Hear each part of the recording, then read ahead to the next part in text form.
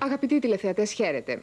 Επέστρεψε στη μία και μισή το μεσημέρι από το Παρίσι, όπου χθες αναγκάστηκε να προσγειωθεί τελικά το αεροπλάνο του ο Πρωθυπουργός Κωνσταντίνος Μητσοτάκης και η συνοδεία του.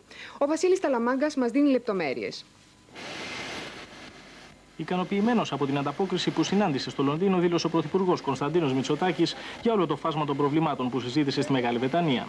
Ο Πρωθυπουργός έφτασε στο αεροδρόμιο του Ελληνικού στις 1.30 το μεσημέρι από το αεροδρόμιο των Παρισίων μετά τη χθεσινοβραδινή περιπέτεια και την αναγκαστική προσγείωση του αεροσκάφους της Ολυμπιακής Αεροπορίας που μετέφερε την ελληνική αποστολή στην Αθήνα. Την ώρα που η Τουρκία βρίσκεται σε εξαιρετικά δυσχερή θέση με αφορμή τα όσα διαδραματίστηκαν στο Παρίσι, η Μεγάλη Βρετανία, είπε ο Πρωθυπουργός, συντάσσεται απολύτως με τις Ηνωμένες Πολιτείες και με τον Γενικό Γραμματέα του Οργανισμού Ηνωμένων Εθνών και θα βοηθήσει στην επίλυση του Κυπριακού.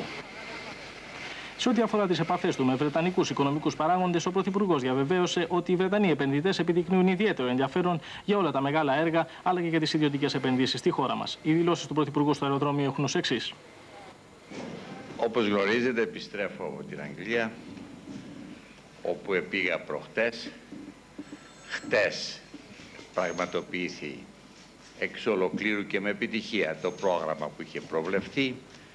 Είχα συνάντηση με τον Πρωθυπουργό της Βρετανίας, τον Τζον Μέιτζορ, μια πολύ χρήσιμη συνομιλία κατά τη διάρκεια προγεύματος εργασίας, breakfast εργασίας στη Downing Street 10, όπου συζητήσαμε όλα τα θέματα που με ενδιέφεραν, μας ενδιέφεραν εμάς ιδιαίτερα, που ήταν φυσικά τα θέματα της πορείας της Ευρώπης, η Ολλανδική πρόταση, η περίφημη Ολλανδική πρόταση, τα θέματα, το θέμα της Βαλκανικής με ιδιαίτερη έμφαση στη Ιουγκοσλαβία, το θέμα της Σοβιετικής Ένωσης και των τέως κομμουνιστικών χωρών της κεντρικής Ευρώπης, αλλά κουβεντιάσαμε και διά μακρών ελληνοτουρκικές σχέσεις και κυπριακό.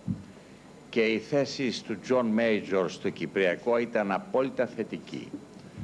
Η Μεγάλη Βρετανία συντάσσεται με τις Ηνωμένες Πολιτείες Αμερικής και με τα Ηνωμένα Έθνη η Μεγάλη Βρετανία έχει ειδικό ενδιαφέρον διότι είναι και εγγυήτρια δύναμις και είμαι βέβαιος ότι ο Τζον Μέιτζορ και η Μεγάλη Βρετανία γενικότερα θα βοηθήσει και στην παρούσα φάση της σύντομης